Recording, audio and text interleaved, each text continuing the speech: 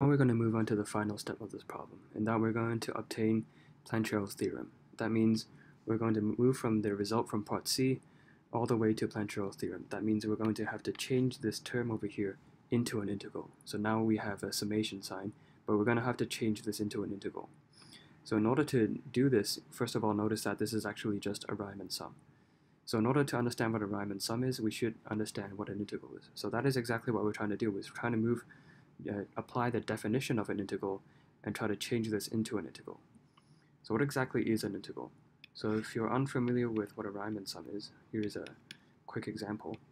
So let's say I have an integral from x naught to xn dx. So what this means is that this the value of this thing is going to be equal to. So let's say I have this uh, x-axis over here, and then we have x naught, x1, x2, all the way to xn. So this integral is essentially taking, first of all, this interval over here. So we first take the length of this interval, which is x1 minus x0. And then we're going to choose a point within this interval. So let's say I choose a point t0. So t0 is going to be some number between x0 and x1. And then I'm going to substitute t0 into the function. And then I'm going to multiply it to the interval. And then I'm going to do the same thing for the next interval. So once again, I take the length, x2 minus x1, and then I multiply it by the function of t1, where t1 is going to be some number between this interval. And then this process just keeps on continuing on and on all the way to xn. And then if we just add up all these different terms, we get our integral. So you can see that if these intervals are large, then whatever t0 or t1 you choose, so t0 could be any any number within this interval, you can see that as uh, if you move between this interval, the, the value of f of t0 is going to change.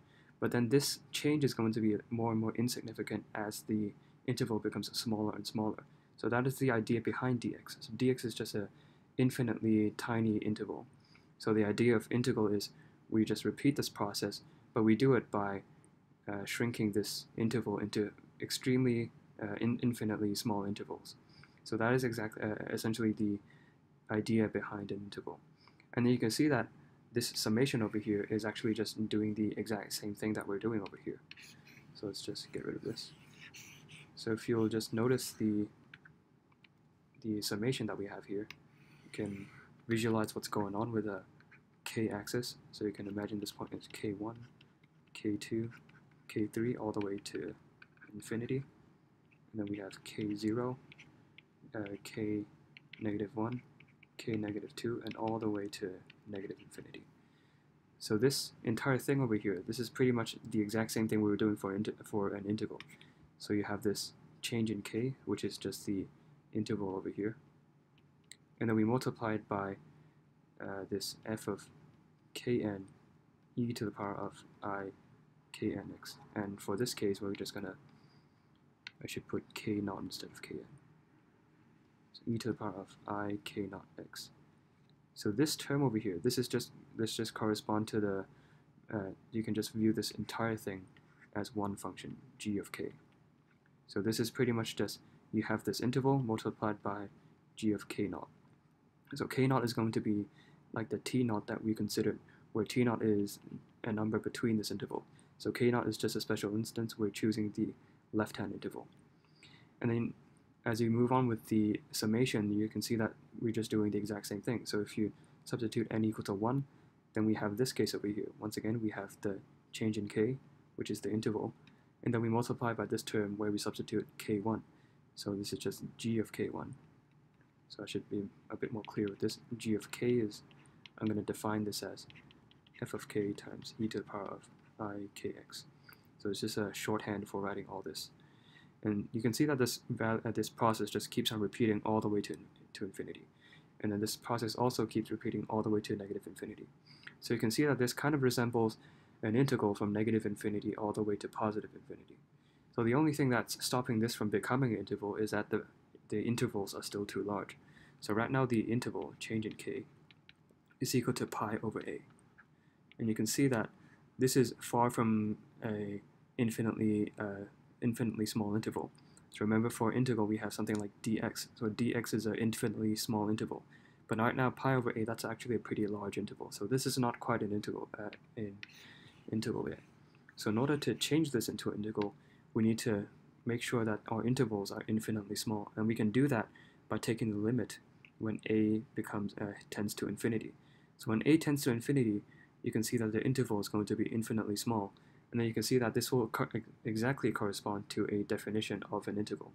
So when a tends to infinity, f of x, due to the definition of an integral, is going to be become something like this.